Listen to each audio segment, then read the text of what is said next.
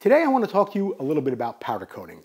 You can hear pros and you can hear cons about it, but if you should decide that you do want to have your frame powder coated, I want to talk to you a little bit about the difference between a real glossy finish and something that's only 70%. Behind me are two frames. We're going to get a closer look at them right now and you'll see the difference.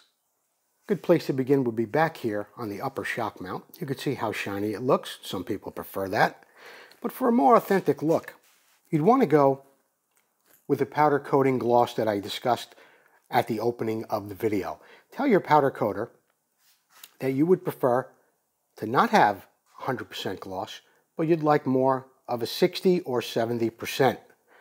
It looks much more like paint. It looks much more authentic and a much closer match to what the paint actually looked like on your Honda Elsinore or whatever black frame you would be refinishing from that era.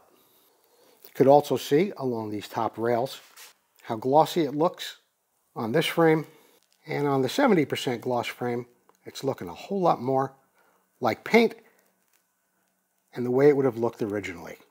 Let's get a look at the swing arms as they're laying flat under the light. And you could tell on the left, of course, is the 100% gloss, the high gloss swing arm done in powder coating.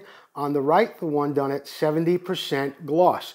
Again, it looks a whole lot more authentic. And if you're restoring a bike, I think you want to ask your powder coater next time for a 70% gloss on your black frames. Well, there you have it. The differences were obvious between the 100% gloss and the 70% gloss. You could really see it on the swing arms too. My advice would be next time you go for a powder coating job, and it doesn't have to be just for black, it could be with any color that you're going to powder coat your bike. Silver, red, whatever it may be. Ask for a 70% gloss finish to make it look a little more like paint and a lot more authentic.